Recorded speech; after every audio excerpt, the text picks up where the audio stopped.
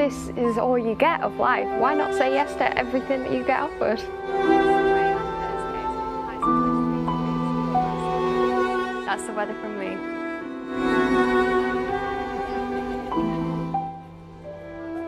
My doctors told me I wouldn't be going back to university full stop and now I'm graduating so I just want to say thank you doctor.